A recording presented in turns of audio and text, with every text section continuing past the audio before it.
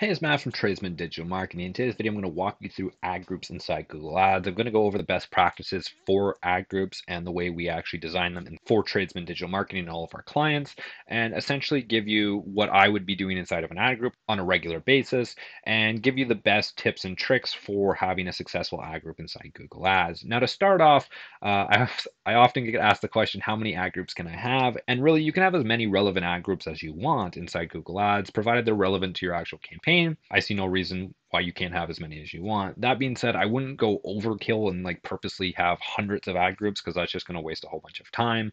Uh, but really you can have as many as you want a few dozen inside your campaign is completely fine i don't see any reason that should be an issue so now what are the actual tips and tricks that i would recommend inside google ads and the best practices for ad groups and really uh, there are quite a few and and to start off, I really want our ad groups to be as specific to our campaign as possible. So for this one, it is pool installation. So I'm not going to be putting pool products inside this. I'm going to be putting everything related to pool installation. So for this, I would actually change this to fiberglass pool installation.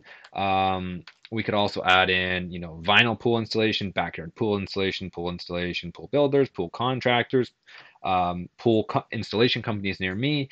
And by actually segmenting all of these out and relating them back to our campaign, uh, we're really we're able to really easily optimize all of our ad groups inside Google Ads. It's super fast, it's super efficient, and we see amazing results with it. And this is because we can quickly identify an ad group or set of keywords that isn't working well, either fix it or get rid of it as quickly as possible. That way, uh, it's not weighing down the account and we're able to get really good results with it.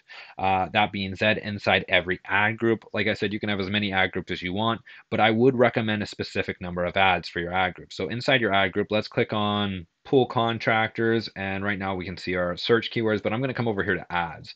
And I'm going to recommend having at least three ads. This one only has one inside of it uh, but you should always have three responsive search ads inside every single ad group. If you're doing a call only ad campaign I would still recommend having uh, three call only ads. But if you're doing a general search campaign I would definitely recommend having three responsive search ads. And this is because Google is going to take all these ads, it's going to cycle it. And sometimes Google can be a bit finicky with this. And you may write an amazing ad, but Google for whatever reason just doesn't like it and it goes, yeah, I'm not going to run it. And then your, you know, your account isn't getting any impressions, it's not getting any clicks, and you're like, why, why am I not seeing any leads? And it's just because Google didn't like the one ad. So it's always good to have three ads. It allows Google to A/B test all these headlines, and with all these headlines, I believe you can have 15 headlines in every single ad group. Am I right on that one? I am right on that one. 15 headlines in every single ad group. So as you can see here, we have 15 different ones. And it has four descriptions as well. Uh, you really want to have as many descriptions as possible and as many headlines as possible. And with three ads, you're going to have 45 different headlines. You're going to have 12 different descriptions. You're, there's just going to be so much for Google to A-B test. And chances are Google is going to find a winning combination and you're going to have a really high click-through rate if you fill out all the headlines and all the descriptions. That being said, please fill out all these descriptions. I only filled out two out of four here, so please click the plus icon down here and hit it again, fill out these descriptions, and allow Google to A-B test as much as possible. And the reason we want Google to A-B test and get a high click-through rate is because the higher our click-through rate is, the more likely we are to have a higher quality score, which brings our cost per click down because Google likes our ads. And then with our lower cost per click, we're able to get more clicks, which leads to more leads, which leads to a whole bunch more account success and you know generally a happy business owner because you're getting a whole bunch more leads. Uh, so that's really important. Have as many headlines as possible, have as many descriptions as possible. Now the reason reason I recommend three, though, is we don't want to overwhelm Google. Three generally seems like the general rule, the general principle Google recommends, and I tend to follow that. And after about a week or so, uh, and it really depends on your data, maybe it's even a month, maybe two months, depending on how much data you're getting into, you're going to come in here and you're going to essentially kill off the loser and keep the winner. So, say we have three ads in here. This ad is just not doing well. Uh, what I would recommend doing is actually copying this. So, we're going to actually copy. We're going to hit we're going to hit the uh, check mark area here. We're going to hit edit and copy and then hit paste. And what we're going to do is actually duplicate out this ad. We're going to hit done and we're going to click on pause new ads after pasting. And we're going to hit this as well uh, because we want to actually duplicate this. And then we're going to hit paste and we're good to go when it comes to actually copying out our ad. Now, what you're actually going to see is you're going to see three ads. Uh, the first one is going to be probably winning. It's doing well. It's getting a whole bunch of clicks. It's getting the bulk majority of it. And then you're going to see one ad that's doing all right. Maybe has like five, six clicks. I don't know. Uh, and then you're going to see one ad that's essentially dead. It's got like one click, 80 impressions. It's not doing anything. What you're going to do is you're going to find that ad and just come in here and literally pause it, and then you're going to duplicate just like I did, and you're going to adjust most of the headlines, adjust the descriptions, and then turn it on and allow it to run and try and beat the champion ad, which is the actual winning ad that's getting all the clicks, all the impressions, and constantly try and beat your click through rate. And by doing this, you're going to have a much higher click through rate over time. You're going to have a lot more account success overall, and you're going to be much happier with your Google Ads account. So that's my recommendations for ads. Now, when it comes to actual keywords inside of our ad group, all we have to do is click on our keywords. And there's a few things I recommend for keywords inside of our ad group. And what I like to do is get at least 10 clicks before making a decision on a keyword. If a keyword has 10 clicks, no conversions whatsoever, so you haven't got any leads, I turn that off. And all you have to do to turn it off is hit the little green button here, hit pause, and it will turn off the keywords so you will no longer show for it, uh, which is really nice because we don't want to waste any money. That being said, say it only has one conversion out of 10 clicks. And this can get a little, I can be more lenient with one conversion because at least it's showing some leads.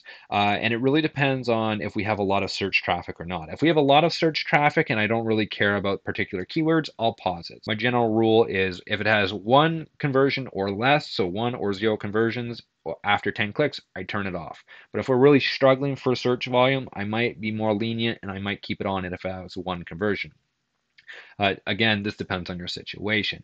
If it has two or more conversions, so you're getting 20% conversion rate, keep this keyword. This is a winning keyword. We want to keep it. Generally, if you do this over a period of a month or two, you're going to have a very successful account with a conversion rate of over 20%, which is just absolutely amazing compared to all the competition. Now, there are a few other things inside your ad group you should know about. I generally recommend exact match. As we can see here with our match type, it's all in phrase match. So I would change this all to exact match. So all you have to do is click on the actual uh, phrase match here and then come down to exact match. And this really narrows the amount of search terms you're available to appear for, which is nice because we don't want to appear for anything.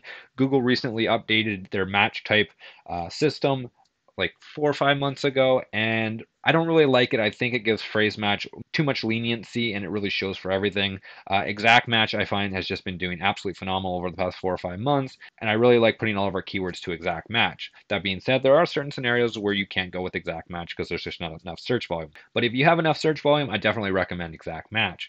Now, one thing to note about exact match is that there are still search terms, even though it is very restrictive and you are going to only be targeting, let's say, like swimming pool contractors here, there are still search terms you won't want to appear for. So every week, uh, and again, depends on how much data you're getting into the account, but I generally recommend once a week. Coming in here to the search terms, there's going to be a long list of all the search terms people have typed into your account, and you're literally going to scroll through all here. You're going to find the ones you don't want to appear for. So maybe it's, you know, swimming pool installation products or swimming pool installation chlorine, something like that, that you just don't want to appear for. It's not actually what you're going for.